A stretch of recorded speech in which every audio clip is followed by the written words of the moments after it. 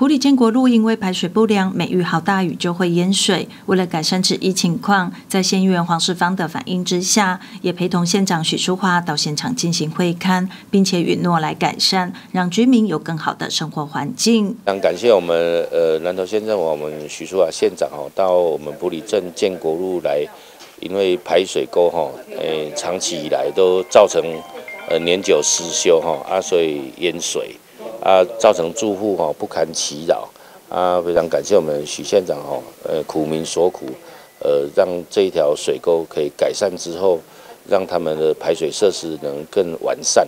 县长许淑华表示，到现场会勘后，发现排水沟的问题确实在大雨来时会造成淹水，造成民众困扰，因此县府会筹措经费来做改善，让居民有更好的生活品质。以咱的建国路吼，咱这个所在咱看到吼，巷道非常的细吼，啊虽然路面铺了真好，但是咱下骹这水沟吼已经四五十年拢无改善啦，所以水沟的这个宽度还有它的这个浅度也也是比较比较不够啊，所以呢，这个常常民众这边也一直在。在反映啦，漏水的时阵哈，都拢积到的咱的民宅，所以这个乡亲呢都非常的担忧。那也非常感谢我们的黄世芳议员哈，也跟我们的陈英杰代表这边非常的关心地方的各种建设啊，所以呢，透过着咱的排水的设施来给做起来哈，啊，做较长的安尼，将来这经过的排水就当来改善，慢慢去一直一直为着咱的民宅之内哈。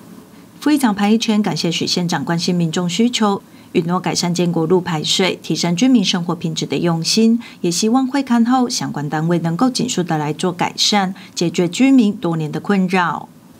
记者陈伟一普里镇采访报道。